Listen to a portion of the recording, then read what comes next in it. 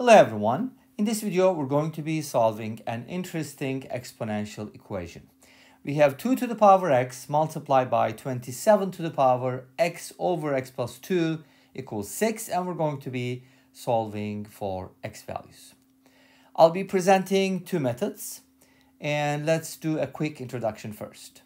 So we have this expression and we're going to try to find the x value. Obviously, guess and check is a good method. If that works, if there are any trivial solutions, you can try to find them.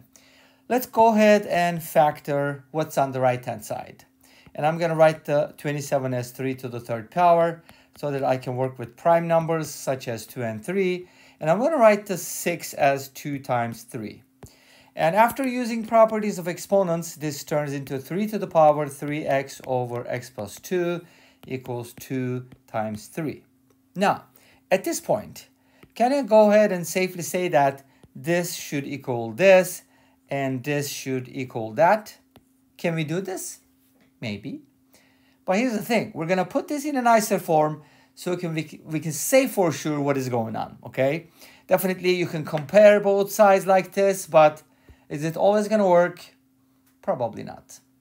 So let's go ahead and put this in a nicer form. First, I'll take it from here. I'll divide both sides by 2. That'll give me 2 to the power x divided by 2. And I'll divide the 3 by 3 to the power 3x over x plus 2. So in other words, I'm going to put the 2's on one side and then 3's on the other side. Left-hand side and right-hand side. Makes sense? And again, properties of exponents help us here. Division means these are first powers, first of all. And division means you're going to subtract the exponents, right? So this is going to turn into 2 to the power x minus 1. And this one is going to turn into 3 to the power 1 minus. Be careful about the order because in subtraction order matters. It's not commutative. Commutativity does not apply, whatever. Such a weird word. Anyways, so can we simplify this a little bit more? I mean, we should be able to, right? On the right-hand side, make a common denominator. That will be x plus 2 over x plus 2, so minus 3x divided by x plus 2. And if you try to write in the simplest form, it's going to be 3 to the power x minus 3x plus 2 all over x plus 2. At this point, you may not see what is going on. That's perfectly fine. But here's what I would like you to do. Factor the numerator. Why not the denominator? You'll see in a little bit why. You don't want denominator to be 0, do you? I don't think so. So let's go ahead and do this. Factor a negative 2 out of the numerator. Inside you're going to have x minus 1 and denominator will be the same. Do you see what I'm talking about? Do you see what I see? Hopefully. x minus 1 and x minus 1. So in other words, we can go ahead and use the fact that they both have x minus 1 in the exponent. We can definitely use logs, but I want to do it a little differently, okay? So here's what I'm going to do. First of all, notice that x equals 1 works because 2 to the power 0 equals 3 to the power 0. They're both equal to 1, right? That's good. Okay, so what about that? We got x equals 1. Is that the only solution? Well, we already knew that, right? Probably at the beginning you kind of guessed and checked. And when you compared these two expressions, actually 2 to the x equals 2 implies x equals 1 and then x equals 1 satisfies the other equation. It's not always like that, but in this case, special case, right? The equations are both satisfied by the same x value. Of course, they have to be the same. All right, so what are we doing? What are we going to do next? Let's go ahead and take this x equals 1 out of the picture so we can go ahead and just go behind the scenes. That's what's happening behind the scenes, okay? So be, to be able to do that, we're going to raise both sides. Assume first that x does not equal 1 because what we're about to do um, kind of necessitates that. We're going to raise both sides to the power 1 over x minus 1 and that'll actually eliminate x plus 1 okay because you can go ahead and cross cancel this one and this one and this one and this one notice that they're multiplied right cool cool now we have a variable should we put that on the left hand side maybe I don't know let's do it we get 3 from here to the power. I need some room for the powers. Negative 2 over x plus 2 equals 2. How simple, right? From a complicated equation, first, we find one of the solutions, which is kind of obvious, and then we go for the second one, but notice that this equation is a lot simpler, right? A single base and a single result. Good, not a product. So how do we go from here? We can use logs at this point. I mean, I need to use logs. It's inevitable, right? So here's what we're going to do.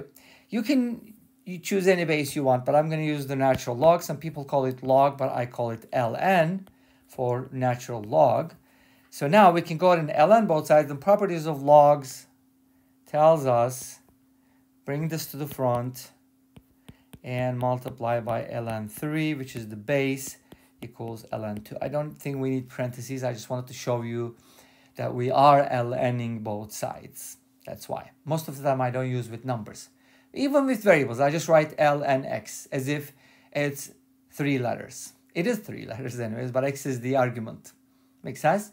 But if it's ln 2x, I'm not going to write it like this. I'm usually, most of the time, going to write it like this. Make sense? Some people even say, oh, you have to write x in parentheses, blah, blah. It's not understood. It's understood. Come on. It is understood most of the time. Maybe all of the time. So from here, where do we go? We try to isolate x, but if you divide both sides by ln 3, you're going to have a reciprocal. You don't want that, do you? So I'm going to instead go ahead and multiply like this. Multiply by x plus 2. So you can kind of linearize it.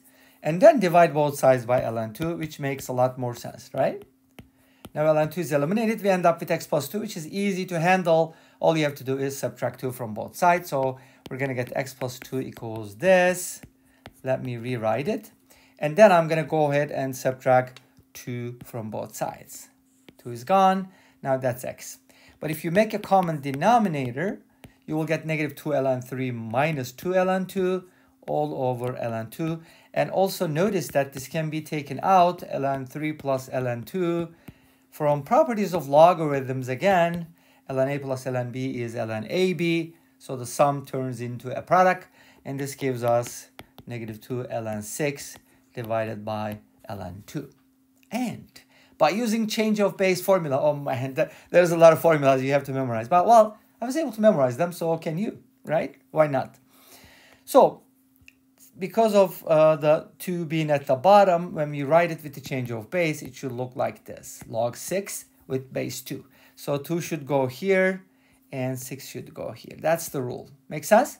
Easy to remember if you look at some numerical examples obviously it's a lot easier to understand. So that is the answer and there's more than one way to write it. You can use a calculator if you need a numerical answer. So what? That's it.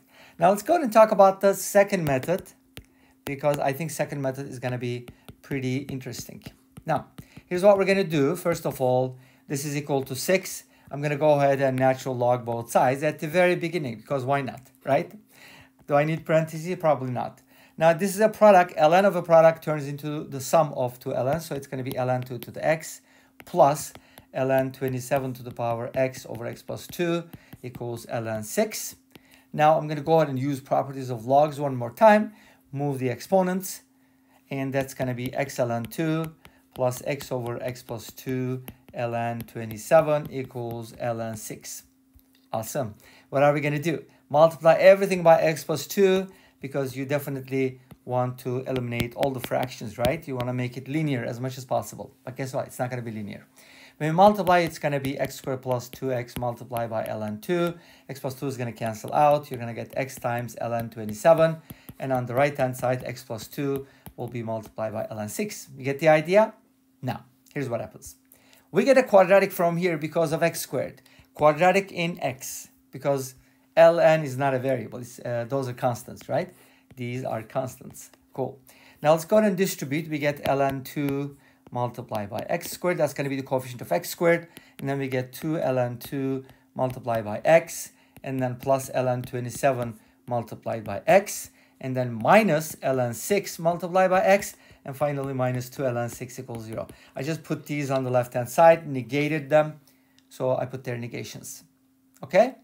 Now we can go ahead and organize this a little bit, maybe put the ln2 in parentheses, so that kind of looks more like a coefficient.